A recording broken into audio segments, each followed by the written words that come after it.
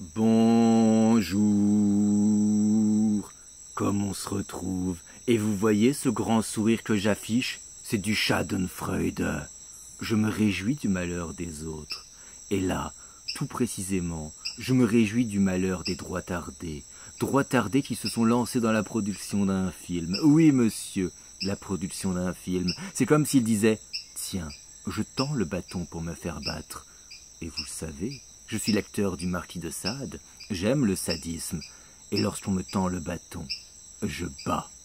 Parce que ouais, les droits tardés veulent faire un film, putain, vous vous rendez compte, les droits tardés veulent faire un film après avoir passé des années à dire Non, ben le cinéma français, quand même, c'est pas très bien, c'est LGBT, c'est de la propagande de gauchiste. Enfin, ils se sortent les doigts du cul pour nous faire un film, pour nous montrer ce que c'est que le cinéma. J'ai hâte. Bénissez ce jour. Soyez heureux parce qu'il n'y a absolument rien qui va et on va se délecter. Déjà, c'est fabuleux. Vous allez sur le site de Terre de France. C'est Terre de France qui fait le film. Vous compte? Terre de France, une entreprise de parfums patriote qui reverse tous les bénéfices à des associations. Hein, sauf, euh, je pense, les bénéfices qui ont servi à faire ce film. Donc là, entre les parfums, les planches à couper le saucisson et tout, c'est un film. Hein, ça montre bien toute la valeur qu'ils portent à leurs produits. Hein, hein c'est un produit, c'est pas vraiment de l'art, c'est juste un produit dans leur gamme. Le film médiéval, ça donne envie, hein. C'est pas, tu vois, c'est pas le nom du film, c'est le film médiéval. Il n'y en a qu'un seul, c'est celui-là. Et là, tu cliques. Bah oui, tu cliques. Et là, qu'est-ce que tu vois? Mais en fait, c'est un financement participatif qui dit pas son nom. Bah ouais, tu peux réserver. Alors, euh, financement participatif, j'ai rien contre, hein. Sauf que, bah, il faut arrêter de se foutre de la gueule du monde. Et donc là, on voit directement la différence avec un vrai financement participatif que tu fais, je sais pas, chez Ulule ou chez Kickstarter, où tu vois normalement le montant total récolté. Là, bah, t'as aucune idée de combien ils ont déjà récolté d'argent. Hein. Pourtant, on sait que dans le cinéma, c'est important de savoir combien tu as récolté d'argent pour faire un film. Surtout un film sur le lourd Moyen-Âge. Et puis surtout, bon, je veux bien qu'il y a pas mal d'arnaques sur Kickstarter et Ulule, mais normalement, bon, ils regardent quand même si t'as bien livré les contreparties. Là, chez Terre de France, t'as aucune transparence. Quelle sécurité tu as si le projet va pas jusqu'au bout? Est-ce que tu seras remboursé? Mais bien entendu, cette vidéo est là pour faire en sorte que vous alliez donner pour que ce projet aille jusqu'au bout. Évidemment, on veut voir ça, nous, on veut voir ça. Hein? C'est évident. Donnez du fric, hein, mais donnez-en plein, hein, parce qu'ils vont en avoir besoin. D'ailleurs, j'ai discuté avec euh, Louis de Incruste Cut, hein, il s'incruste souvent dans mes vidéos, et je lui ai demandé, euh, à ton avis, il faut combien d'argent pour, euh, pour faire un film d'époque? Et il m'a dit que le budget moyen d'un long métrage en France, c'est à peu près 5 millions. Et tu te doutes bien que si 5 millions c'est la moyenne, que ça va pas être les gros films d'époque lourds Moyen-Âge avec des putains d'épées, des armures, des costumes qui vont coûter un million d'euros. Hein tu te doutes bien que c'est pas ceux-là qui vont coûter le moins cher et que si tu veux faire un film avec le lourd Moyen-Âge, eh ben, il va falloir sortir les deniers. Par exemple, on a Les Adieux de la Reine de Benoît Jacot. Oh, c'est pas un mauvais film. C'est pas un très bon film non plus. Bah ça, ça coûte 9 millions. Y a pas de scène de baston, hein. J'accuse de roman, Polanski, 25 millions. Bon, il y a le cachette du jardin, mais quand même 25 millions. Hein, niveau reconstitution, ils ont bien fait les choses là, hein, mais 25 millions. Et l'arnaque totale Camelot, c'est d'une laideur télévisuelle infinie. 17 millions. Hein, là, on sait pas où passer l'argent. Euh, voilà. Si j'étais mauvaise foi et j'avais pas peur d'un procès, euh, je suspecterais la mafia de tenter de blanchir de l'argent dans ce film. Non mais Camelot c'est dégueulasse et pourtant euh, Astier a tenté de se dire ouais on va faire une comédie mais tu vois la comédie ça doit être beau visuellement on va prendre les plus belles caméras bon ça montre bien que si jamais t'as pas un mec qui sait manier la caméra euh, ça donne de la merde et puis les combats de Camelot euh, putain qu'est-ce que c'est nul hein bon 17 millions et au contraire, dans les films assez connus qui ont coûté peu cher, il y a par exemple Les Misérables où on va taper dans les 2 millions. Ou bien récemment, il y a eu Gagarine, 2,8 millions. C'est pas mal Gagarine. Il y a une belle image, une belle photo. Bon, c'est pas un chef-d'œuvre, mais voilà, j'ai bien aimé. J'ai apprécié, monsieur apprécié sur 20. Donc là, il va falloir les droits tardés, il va falloir sortir le chéquier. Hein. Il va falloir sortir le chéquier pour acheter les contreparties. Hein. Bah, bah oui, hein, parce que putain, il va falloir en acheter des contreparties à 750 euros. Et puis surtout, franchement, la gueule des contreparties. Moi, je suis désolé, tu fais un film sur le Moyen Âge, euh, sur une famille dans le Moyen Âge et tout, avec un seigneur et tout. Enfin, il y a moyen de faire des contreparties qui soient un peu plus intéressantes que ça. Tu vois, je sais pas, même tu fais un t-shirt avec euh, l'affiche du film, un t-shirt avec je sais pas les armoiries de la maison du seigneur du film. Il y a moyen de faire euh, un livre avec le scénario. Hein, on va revenir sur le scénario après. Il y a moyen de te faire un putain d'artbook avec les photos de tournage, des esquisses, tout ça comme ça qu'on a commencé à dessiner les épées. Non, là il y a rien. Il y a rien. Voilà. Je sais pas, tu pourrais imaginer une contrepartie hyper stylée, hein, comme l'histoire de France, Monsieur Juju, comme l'histoire de France, Monsieur Juju, où tu fais forger 10 épées du film, et puis après tu mets une contrepartie à 1500 euros, tu vois, un truc comme ça. Clairement, ils en ont rien à foutre. Clairement, ça sent le projet improvisé. Est-ce que le projet a une chance d'être bien? Bah non, aucune. Mais parce que vous le savez, je suis immensément bon. Mais si, tu le sais que je suis immensément bon. Oh Tu le sais. Mais oui, tu le sais. N'en doute pas, hein. Je vais laisser mon petit Louis d'incruste cut donner des petits conseils sur comment est-ce qu'il pourrait faire mieux pour faire un vrai bon film. On se retrouve juste après. Terre de France va faire un film ambitieux avec des bastons, des figurants, un film d'époque qui veut faire exploser le cinéma français. Ok, cool, mais du coup la question c'est mais en fait, comment ils vont faire? Non, parce que de mon humble expérience de directeur de prod dans le ciné, euh, faire un film d'époque, c'est chaud. La plupart des films d'époque, ça nécessite, bon, déjà premièrement des historiens, mais ça c'est si la réalité historique t'intéresse, ce sera le cas du film de Terre de France, pas sûr. Mais surtout, mais des années de préparation, quoi, des costumiers, des costumières en amont, des historiens, donc comme je l'ai dit, des conseillers artistiques, des gens qui vont bosser sur le film, mais vraiment des années en amont. Du coup, tout ce bordel, ça m'a donné envie de vous dire bah, comment se passe normalement le financement et la préparation d'un film d'époque classique, pourquoi ça nécessite au moins d'avoir quelques gages de qualité, et pourquoi à partir de là, bah, le film de Terre de France, la qualité, il a l'air de s'en foutre Déjà, quand tu as un projet ambitieux auquel tu crois, la première chose que tu fais, c'est que tu écris un scénario. J'ai cru comprendre que le scénario du film de Terre de France a commencé à être écrit, là, seulement à peine. Bon, déjà, normalement, un scénario long métrage, c'est minimum un an, et un an pour avoir un premier jet. Mais bon, on se doute que les auteurs de Terre de France sont qualitativement incroyables, donc ils arrivent à relever le défi. Puis après cette année où tu as assez de recul sur ton projet, où tu penses que ça y est, il est viable, bah, tu vas contacter un producteur. Un producteur qui va t'aider à solidifier ton projet, à le critiquer, à le rendre meilleur, à le rendre plus cinématographique. Et ça, c'est un premier mauvais point. Concrètement, dans le film de Terre de France, je pense qu'on peut dire que tout le monde est acquis à la même cause, la cause des acteurs. Donc ils ont tous la même idée du cinéma, ils ont tous les mêmes idées politiques. Bah, du coup, il y a personne qui va oser remettre en cause le scénario, en fait. Il y a personne qui va le critiquer, il y a personne qui va se dire, ok, donc là, peut-être qu'on abuse, on devrait faire autrement. Et ça, c'est dommage, parce qu'un producteur, en vrai, ça sert à ça. Ça sert à faire en sorte que le projet soit critiqué, que le projet soit soumis à la multiplicité des points de vue. Et la multiplicité des points de vue, c'est hyper important au cinéma. Bref, une fois que tu as passé cette étape-là, déjà c'est pas mal, le producteur va chercher des financements. Et ça, encore une fois, ça dure un an minimum. Et ça, c'est pas mal hein, quand t'as pas la flemme, parce qu'en dehors de la thune, ça permet même de faire valider ton projet artistiquement par des professionnels qui vont se dire que, ok, le scénario est digne d'intérêt. Et là, forcément, on va me répondre, ouais, mais en même temps, euh, ça sert à rien de demander des financements euh, au CNC qui finance que des films de gauchistes sur les euh, migrants, véganes, transgenres. Demander une aide, ce serait se soumettre aux grands dictats de la gauche et ce serait ce serait se soumettre.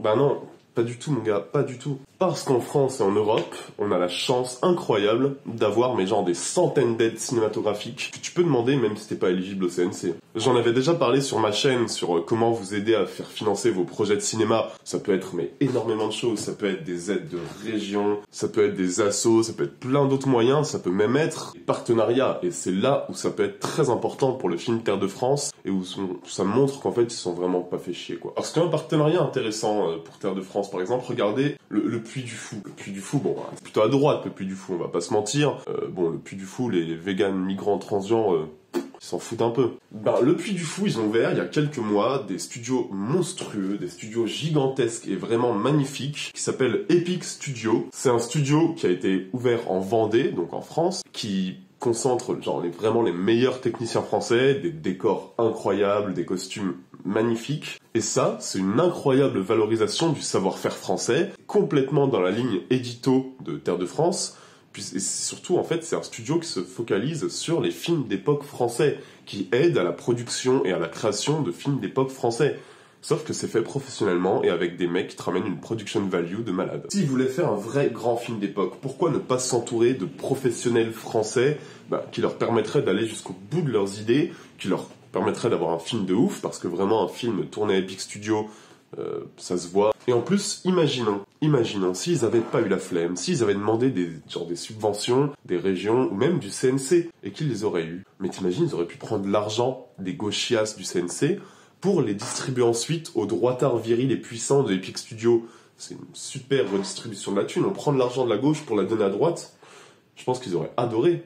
C'est dommage qu'il l'ait pas fait. Mais en même temps, c'est plus facile de demander de l'argent aux fans qui sont déjà conquis. C'est hyper pratique. T'as pas besoin de prouver que tu as un, projet solide en fait. T'as pas besoin de prouver que ton projet il est digne d'intérêt. Les fans ils s'en foutent. Ils vont donner. C'est le principe du financement participatif. Sauf que du coup ton projet il a aucune crédibilité et il a aucune euh, garantie quoi. En vrai, il y a aussi un autre problème il y a un autre problème, c'est que c'est qu'en France, pour qu'un film existe réellement, dans 80% des cas, faut qu'il ait un distributeur en amont. Et choper un distributeur, bah, ça se fait principalement sur un préachat, sur la base d'un scénario. Le distributeur, il va lire ton projet, il va trouver qu'il y a un potentiel, il va trouver qu'il y a, ok, bon, pour l'instant c'est un scénario, mais il y a de l'idée, il y a, a l'envie de faire quelque chose de grand. Allez, on s'engage, on va aider la personne à concrétiser son projet.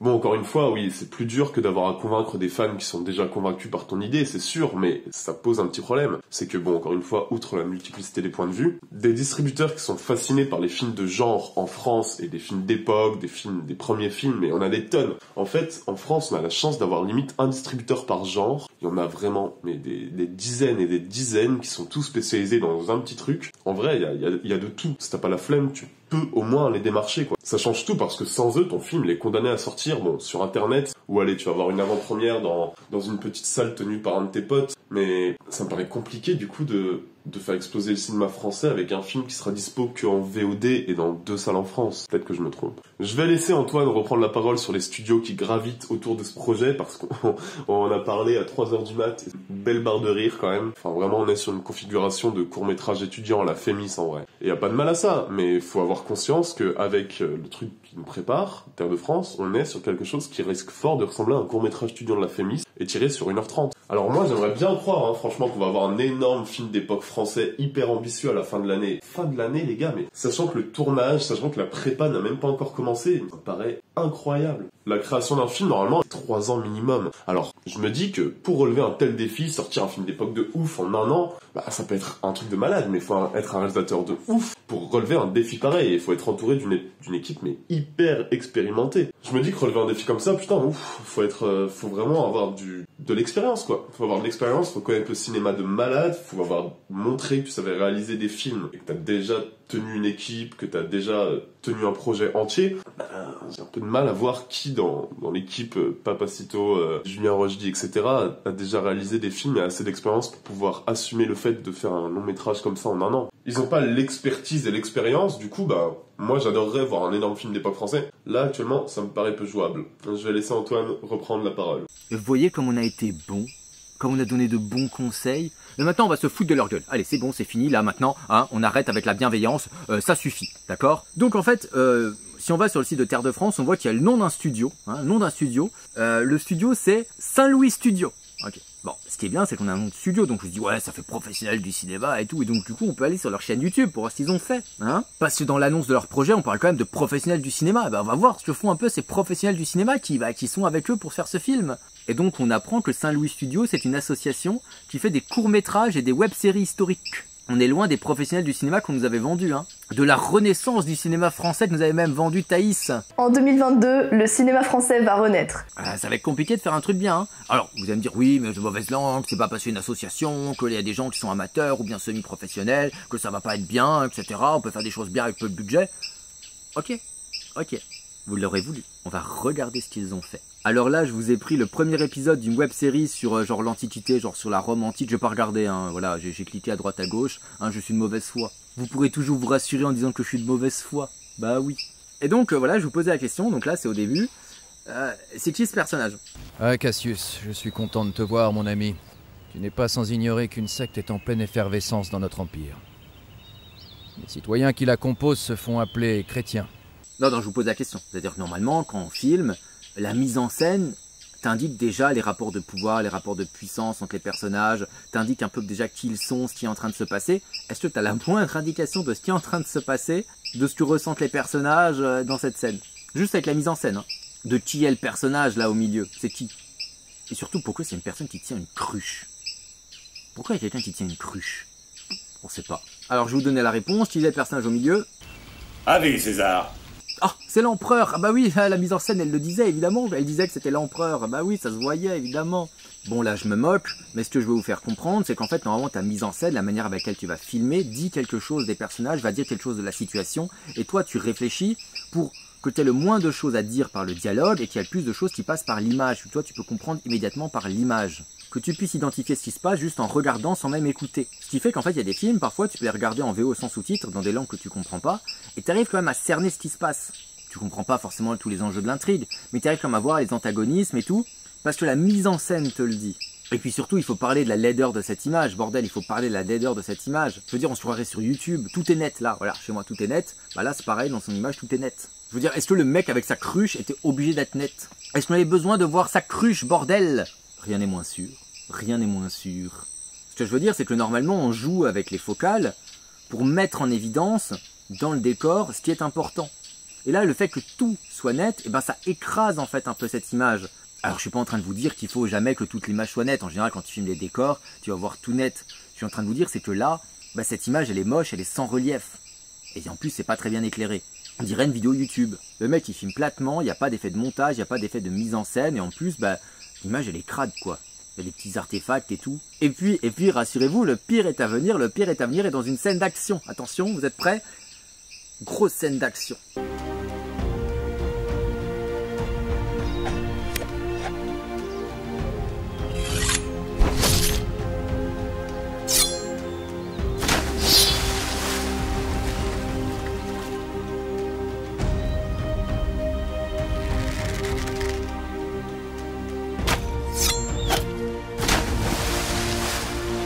Je sais que vous êtes impressionné. Je sais que vous êtes impressionné. Qu'avez-vous à dire? Vous êtes prêt à voir Papacito, Rochdi, Christopher Lanner et Thaïs se battre comme ça, avec les effets de mise en scène de fou? Vous avez vraiment envie de payer pour voir ça? Bah oui, moi j'ai clairement envie de payer pour voir ça. 1000 balles s'il faut, mais je veux voir ça. Évidemment je veux voir ça. Qui ne voudrait pas voir ça? Par contre, euh, vous pouvez oublier les batailles épiques, hein, ça va être ridicule. Hein. Alors là, je me moque, c'est une web série, on s'en fout totalement. Je veux dire, c'est une association, ils font ça sur leur temps libre. Euh, clairement, on s'en bat les couilles, tu vois. C'est le président de l'association qui réalise, bon, il fait ce qu'il peut. Ils gênent personne, tu vois, ils font 1000 vues sur YouTube, euh, on s'en fout. Par contre, c'est quand même marrant que toute la fine équipe, là, c'est eux qui soient allés chercher. Enfin, je veux dire, ils avaient personne d'autre sous la main, des gens plus compétents, plus qualifiés. Je veux dire, il faut quand même que le réalisateur ait un peu un minimum de sens artistique. Là, il y en a pas, il y a juste rien. Tout pue absolument le cache-misère. Là, je veux dire, le film est foutu d'avance, il n'y a rien qui va marcher. Je veux dire, c'est même Christopher Lanner là qui se vante d'avoir euh, coécrit le scénario, écrit le scénario, je sais pas trop. Même s'il était un génie du scénario, le mec a jamais écrit un scénario, mais là, tout à coup, imagine, il a la science infuse, il y a Dieu qui va peut-être qu'il aide à écrire un super scénario. Si t'as pas un bon metteur en scène pour le mettre en scène après, et qu'il filme ça de manière aussi plate, aussi moche, et que t'as pas un technicien compétent pour faire une belle petite lumière, un bon petit chef opérateur qui arrive à sublimer certaines lumières, certains cadres, ça va être hideux, ça va être irregardable pendant deux heures. Ce que je veux dire, c'est que réaliser un film, ça s'improvise pas. Écrire un scénario, ça s'improvise pas non plus. Du coup, ça m'étonne pas qu'ils vendent pas le scénario sous forme de livre en contrepartie. On verrait que c'est juste n'importe quoi et que le mec n'a aucune compétence. Donc en fait, sans idée, sans vrai budget, avec des techniciens qui font ça sur leur temps libre, ben ça va donner ça. Vous aurez rien de plus que ça. Et puis bordel, il va falloir qu'on parle du jeu d'acteur. Vous êtes souvent là les droits tardés, ou même les pas droits tardés, à vous moquer des jeux d'acteurs des films que je propose, mais déjà, hein, que les choses soient claires, monsieur. Il faut se dire les choses en face. Si jamais les seuls trucs que tu regardes ce sont des blockbusters en VF, tu es interdit d'avoir un avis sur les jeux des acteurs. Hein faut le savoir. Je l'ai marqué dans mon livre, donc c'est la vérité. Mais là, moi je vous l'affirme, c'est dégueulasse. C'est dégueulasse.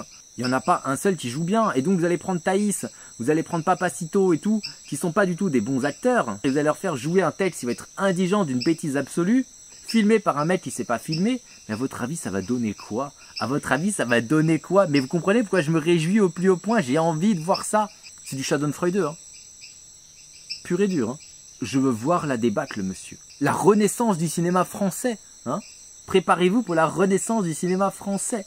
Si jamais ils avaient eu un vrai réalisateur, ils auraient pu tenter de sauver les meubles, d'avoir un mec, qui prend le scénario, qui doit être débile au possible, pour en faire une sorte de Starship Troopers, tu vois, où t'as Jeanne d'Arc qui est jouée par Marine Le Pen sur son cheval, et puis qui a un sourire Colgate et qui s'arrête, et qui dit pour la France.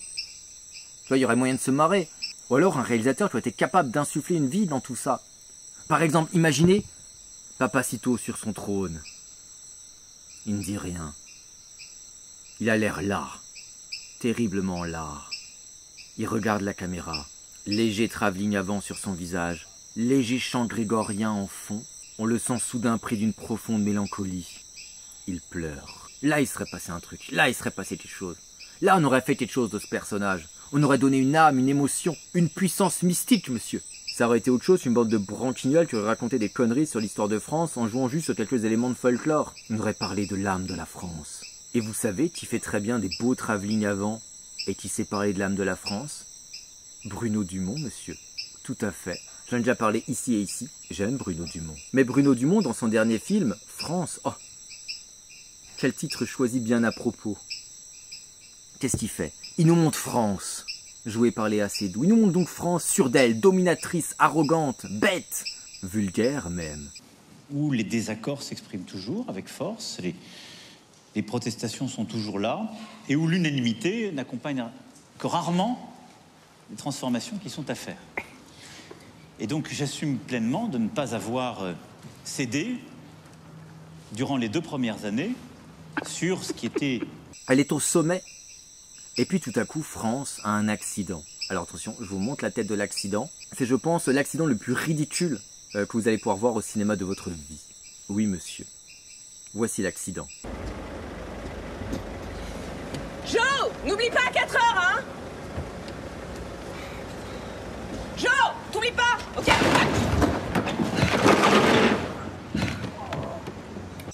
Et là, ce qui est intéressant, c'est que Bruno Dumont, qu'est-ce qu'il fait de ça? C'est-à-dire que sa France, sûre d'elle, arrogante et tout, à cause de cet accident, elle se rend compte de la vacuité de sa vie, de la vacuité de son mode de vie, de la vacuité de son existence. Le monde qui l'entoure est vide, elle n'arrive pas à trouver de sens. Et donc elle se met à pleurer tout le temps, elle est frappée d'une profonde mélancolie, il n'y a rien qui arrive à l'en sortir. Et donc cette France était au sommet, tombe au plus bas. Et donc France essaye de ressortir de tout ça. Elle essaye de tenter des choses pour sortir de cette condition, de sortir de cette mélancolie, de cette tristesse. France essaye une thérapie. Ça ne marchera pas.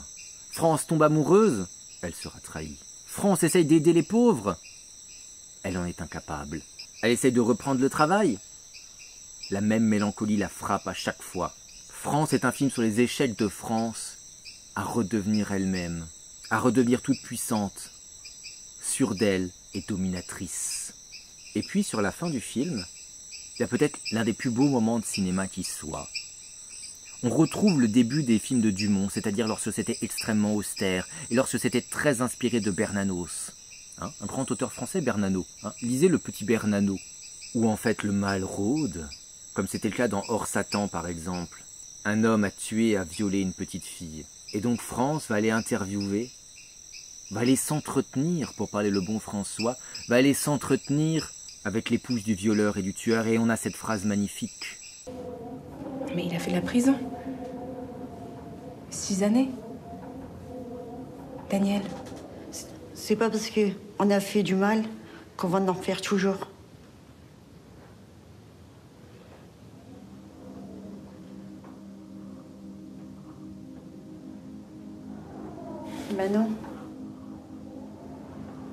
On croit pas qu'il y a quelqu'un qui peut changer, qu'est-ce que vous voulez dire, Daniel? Qu'est-ce que vous voulez dire, Daniel? Qu'est-ce que vous voulez dire, Daniel? Bah tout le mal qu'on qui a pu faire.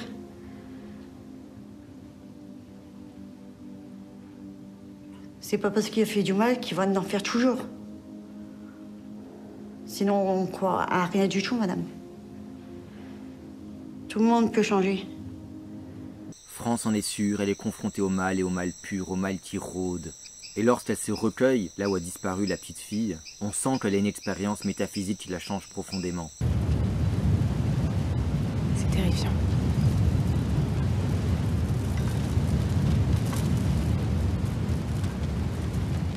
Elle se retourne, elle regarde le paysage, ce paysage banal de la campagne française avec ses champs labourés. Et qu'est-ce qu'elle dit? C'est beau ici.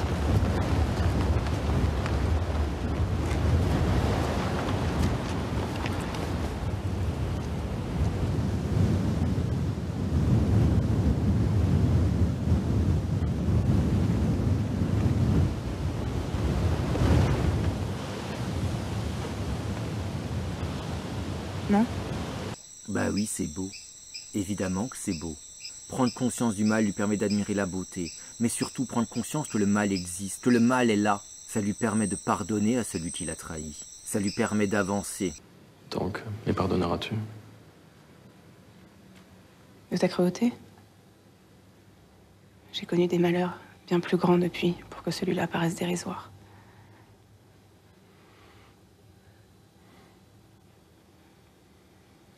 La vie remet les choses à leur place.